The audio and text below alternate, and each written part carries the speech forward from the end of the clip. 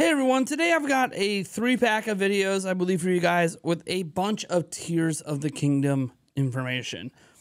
Uh, I am not a Nintendo insider. I want to make that very clear. I just happen to know people in retail. I happen to have a few connections I have made over the years. Remember, I used to run the largest Zelda Nintendo news site in the world. I've been to many E3s as well. Uh, I just happen to have contacts in some various areas. And when it comes to Zelda stuff, naturally I try to get everything I can. Getting Zelda information is very difficult to do, but isn't impossible as we get a lot closer to a game coming out.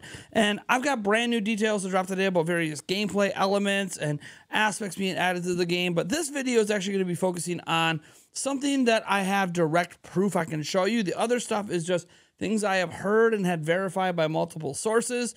But the thing I'm going to focus on in this video is not only been verified by multiple sources, I have some direct evidence to give you as well. And what is that? Well, that is the Tears of the Kingdom Special Edition Switch OLED. So, look, we obviously talked in a prior video about how the the leaked the leaked Zelda OLED edition is likely real. Almost all of the symbols are present in the collector's edition or other various pieces of official merchandise. But what's interesting is not that that's real, but when are we going to get it? And at least according to GameStop, and I can say this with confidence because I have now double checked with one of my local managers. There is a new SKU for a brand new Switch that has shown up in their back end system. And here's a small look at it. I can't show you the full screen, of course. I don't want to give away any exact details here this is confirmed to be the backend system. I've seen the backend system. I've been shown the backend system.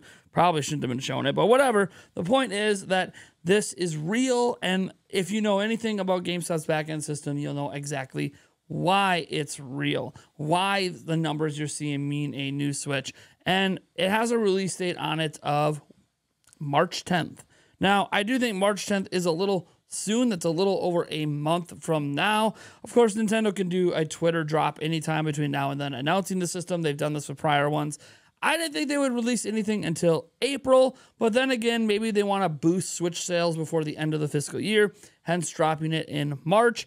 You know, they could do this whole celebration thing of, oh, it's the sixth anniversary of Switch. Also, it's the sixth anniversary of Breath of the Wild. So now we're going to launch this new Zelda edition uh, OLED system. So that is what the back end of their system says. But I have some additional information as well that I can't necessarily show you the direct evidence of for reasons that will get get people in trouble.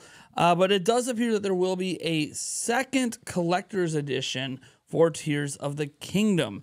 Now, this second collector's edition is supposedly a master edition. That's at least what it's being called. It is something that is not announced at this point. Why they wouldn't announce it's beyond me. Maybe just because of the pre order fiasco over the other collector's edition. So there's basically three versions. You have your regular edition, the collector's edition, and then the master edition. And the master edition is the most expensive of the bunch. I would assume probably a $200 edition. What's included in it is not known. Now, we've seen various uh, items pop up across the internet for pre-order bonuses, right? GameStop doing like this pre-order thing where they're uh, in the U.S. where they're giving you what looks like a wooden plaque. Uh, you've seen other places actually have Tears of the Kingdom coins and stuff like that. So maybe this stuff is what's included in it. Also, maybe there's a statue or something. We saw that obviously with Breath of the Wild. They had an edition where you could get a Master Sword statue. So maybe that is something. Again, why this isn't announced yet is beyond me. Maybe it won't be something that's available for pre order. Maybe it's a first come, first serve in person.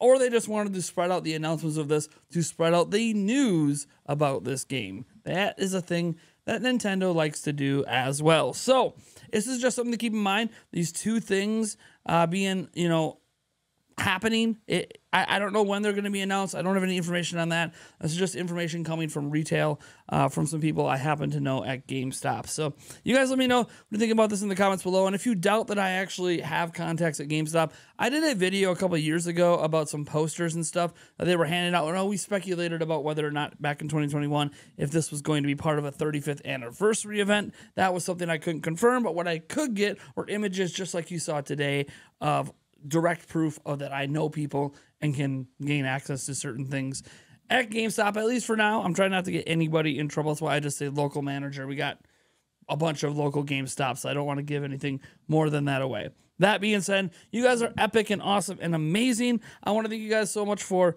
tuning in. Again, I've got a couple more videos to drop. Some really interesting on some game information. We're getting, I think, a three pack out today, plus saving one video for tomorrow. So uh, you're you're not gonna want to miss these ones uh, and how they got verified and everything because uh, there are some things I know about Tears of the Kingdom right now that uh, let's just say I had some dreams, some dreams about it. All right, guys, thank you for tuning in, and I'll catch you in that next video.